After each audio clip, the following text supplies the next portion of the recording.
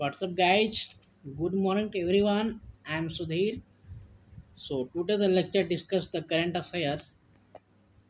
I hope कि all of you enjoy करेंगे और आज के लेक्चर आई होप कि आप लोग के पास हमारी आवाज़ साफ़ एंड क्लियर पहुँच रही होगी और क्लीन पहुँच रही होगी क्योंकि मैंने अभी नया नया माइक्रोफोन लिया है और इससे मैं अभी माइक्रोफोन के द्वारा मैं बोल पा रहा हूँ, जिससे कि आप लोगों के सामने, आप लोगों के पास हमारी क्लियर आवाज़ पहुँचे।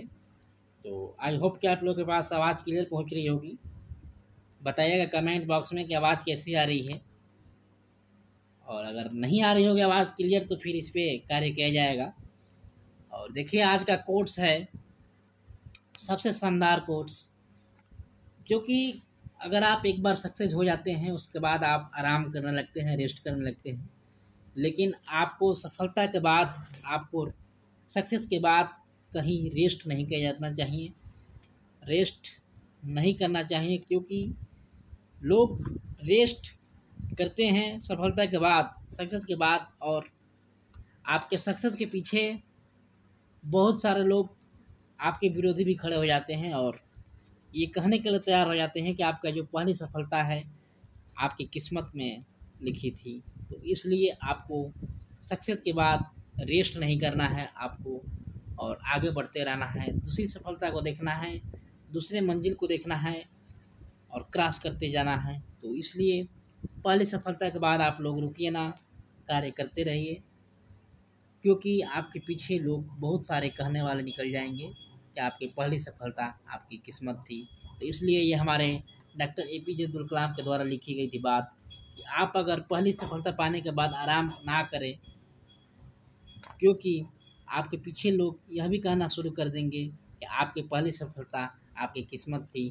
तो इसलिए हमको पहले सफलता के बाद, पहला प्रयास के बाद हमको नहीं रुकना चाहिए, आराम नहीं करना चाहिए। तो चलते हैं आज के लेक्चर में देखते हैं क्या कुछ नया सीखने को मिलता है। Welcome to study mission I hope to all of you well so nice good morning to all of you well so four August two thousand twenty का करंट अफेयर्स है आज। और देखते हैं आज का करंट अफेयर्स में हम क्या कुछ नया सीख सकते हैं। और जितने भी करंट अफेयर्स के सारे क्वेश्चन होंगे आज डिस्कस करेंगे।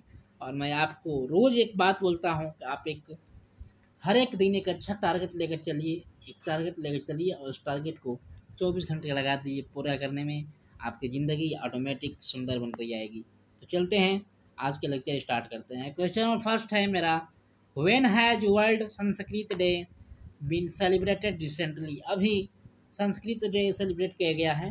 तो तीन अगस्त को थ्री अगस्त को अभी सेलिब्रेट किया गया है संस्कृत डे और ये संस्कृत भाषा को लेकर ये ज़ोर दिया जाता है। इसलिए संस्कृत हमारा, आप लोग जानते हैं कि हमारे जो पूर्वज थे, वो संस्कृत पढ़ा करते थे। हमारे जो ब्राह्मण थे, वो संस्कृत को ज़्यादा फॉलो करते थे, इसलिए संस्कृत डे मनाया जाता है।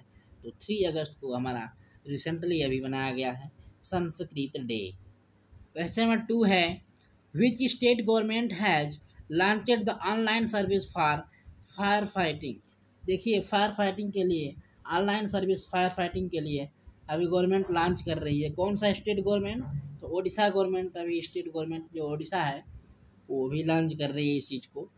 क्वेश्चन नंबर थर्ड है Indian railways has installed automatic lighting system at three railway station of which state अभी तीन रेलवे स्टेशन पर इंडियन रेलवे ने इंस्टॉल कर रहा है अभी automatic lighting system automatic lighting system है जो कि ऑटोमेटिक लाइट को वो कंट्रोल करेगा तो मध्य प्रदेश स्टेट ने भी कर रहा है। मध्य प्रदेश स्टेट के रेलवे ने। ठीक है, मध्य प्रदेश में किया जा रहा है।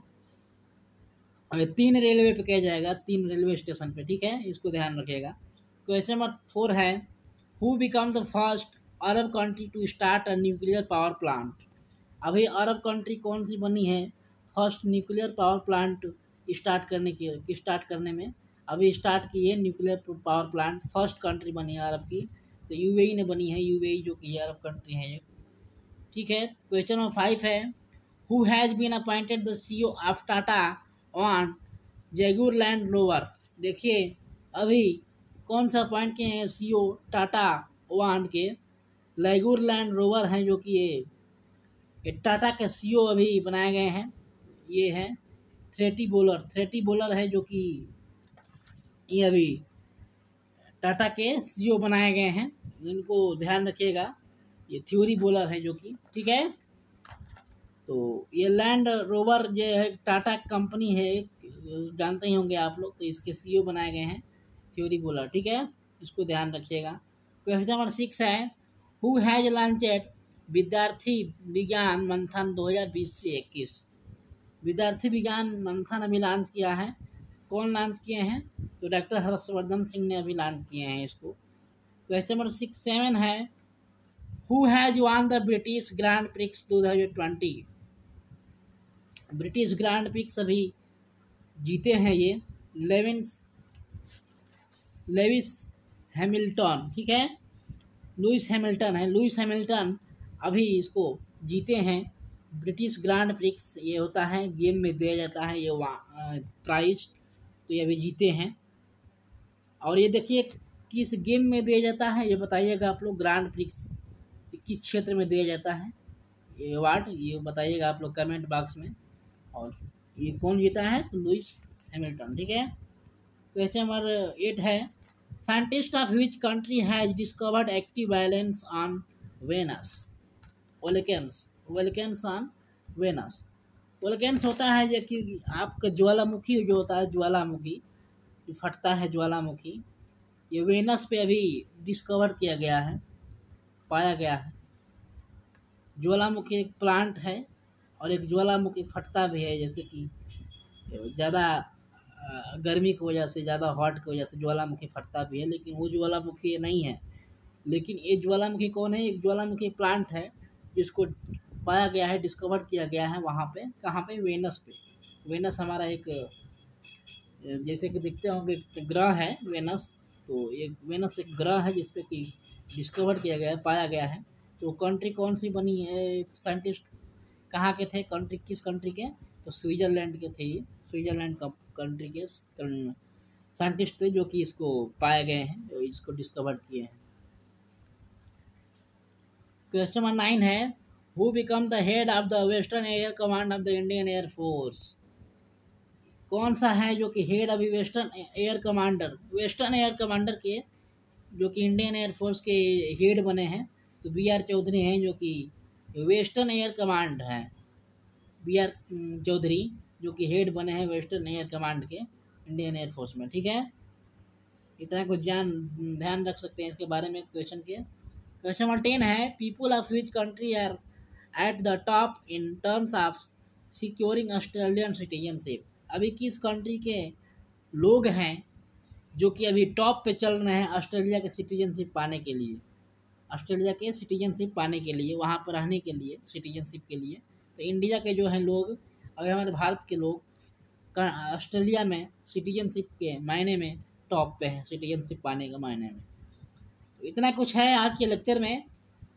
आई होप कि आप लोग इन्जॉय किए होंगे और कुछ नया सीखने की कोशिश किए होंगे, कुछ नया सीखे भी होंगे और हर एक रोज़ एक नया टारगेट लीजिए फिक्स कीजिए और उस टारगेट को पूरा करने में अचीव करने में पूरा दिन लगा दीजिए। आपका ज़िंदगी ऑटोमेटिक सुंदर बनती जाएगी। तो इसलिए इंजॉय करते रहिए, पढ़ते रहिए और मैं एक नया टॉपिक लेकर आता रहता हूँ एक एक और करंट अफेयर्स मेरा डेली कराता है और उस पर आप इंजॉय करते रहिए यहाँ पे। और अगर आप हमारे चैनल पर नए हैं तो बेल आइकन को दबाइए, प्रेस करिए, ताकि आपको डेली अपडेट मिलती रहे। सब्सक्राइब करिए, चैनल को लाइक करिए, शेयर करिए और कमेंट करिए आपको ये वीडियो कैसा लगा। तो धन्यवाद। Thank you for listening. Jai Hind.